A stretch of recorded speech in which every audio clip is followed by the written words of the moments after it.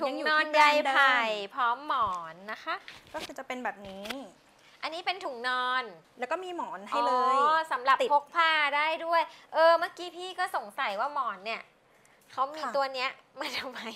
ใช่ใช่ค่ะใช่ไหมคะ ถ้าถ้าคุณแม่ซื้อหมอนตัวนี้ มันก็สามารถเอาไปเปลี่ยนกับตัวที่นอนอันนี้ได้นะคะค่ะเขาก็ติดไว้มันจะได้ไม่เลื่อนไปมาค่ะ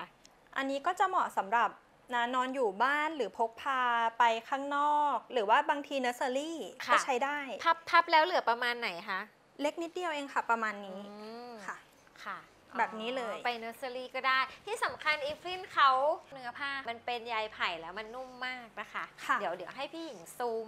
เนื้อผ้าให้ดูนิดนึงว่ามันจะเห็นไหมสีฟ้าอาจจะเห็นนะ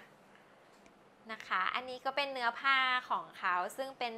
เนื้อผ้าใยไผ่ระบายอากาศได้ดีแล้วก็ ทำให้แบบระบายความร้อนได้ดี ไม่อมเหงื่อ แล้วก็ไม่ระคายเคืองผิวลูกด้วยนะคะ ค่ะ ก็จะอันแผ่นี้พื้ราคา 1,990 บาทนะคะ ต่อเซตก็คือได้ที่นอนพกพาพร้อมกับหมอนไปด้วย ถ้าไม่พกก็ใช้ที่บ้านได้ค่ะ